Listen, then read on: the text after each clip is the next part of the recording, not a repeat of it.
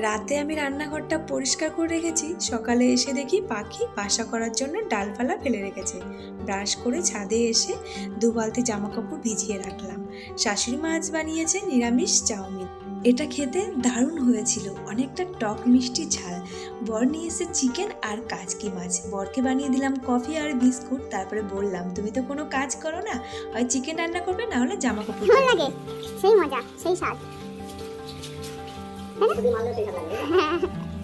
বর বলেছিল, চিকেন রান্না করব, তুমি তাহলে মাংসটা ধুয়ে দাও আর মশলাটা বানিয়ে দাও। আমি বলেছি, যেটা করবে একাই করবে। তারপরে বলল, মাংস রান্না করতে অনেক ঝামেলা, তার থেকে ভাই আমি জামা কাপড়ই কেচে দেবো। তো এদিকে রান্না হয়ে গেছে বর্মশাইয়ের কাচাকুচি হয়ে গেছে। তো চলো আজকে ভিডিওটা এখানে